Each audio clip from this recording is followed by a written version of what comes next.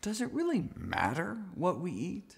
Well, the good news is we have tremendous power over our health, destiny, and longevity. The majority of premature death and disability is preventable with a healthy enough diet. It's the food. Most deaths in the United States are preventable and related to nutrition.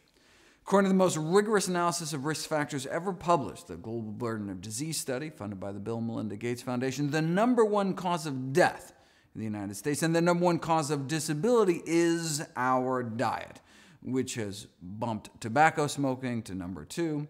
Smoking now only kills a half million Americans every year, whereas our diet kills hundreds of thousands more. What we eat is the number one determinant of how long we live. What we eat is what determines most whether we'll die prematurely. What we eat is what determines most whether we become disabled or not. So if our diet is the number one cause of death and disability, if most deaths in the United States are preventable and related to nutrition, then obviously nutrition is the number one thing taught in medical school, right?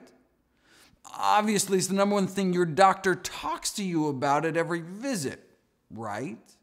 Unfortunately, doctors suffer from a severe nutrition deficiency in education. Most doctors are just never taught about the impact healthy nutrition can have on the course of illness, and so they graduate without this powerful tool in their medical toolbox. Now there's also institutional barriers, such as time constraints, lack of reimbursement. In general, doctors aren't paid for counseling people on how to take better care of themselves. Of course, drug companies also play a role in influencing medical education and practice. Ask your doctor when the last time they were taken out to dinner by Big Broccoli. Probably been a while. That's why I started nutritionfacts.org. It's the tool I wish I had in medical training. NutritionFacts.org is a free, nonprofit, science-based public service providing daily updates on the latest in nutrition research via bite-sized videos. There are videos on more than 2,000 health and nutrition topics, all free, with new videos and articles uploaded every day on the latest in evidence-based nutrition what a concept.